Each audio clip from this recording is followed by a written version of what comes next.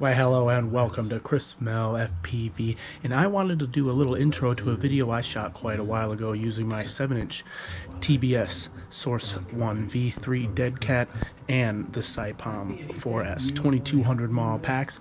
I put both of those together with a parallel pigtail and made it a 4400 mAh 4S and took it up for a flight. Here's that video. I hope you enjoy.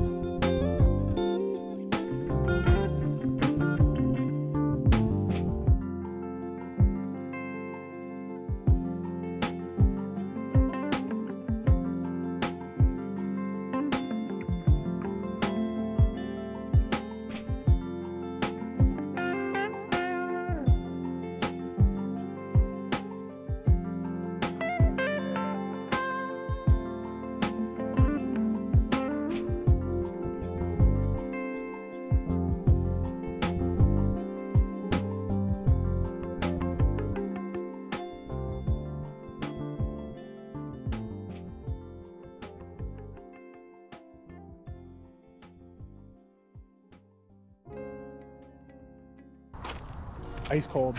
Batteries aren't even hot. Dude, what the sh- This one's a little warm, but I mean, not. That's not warm. Those motors Like- are cold as sh-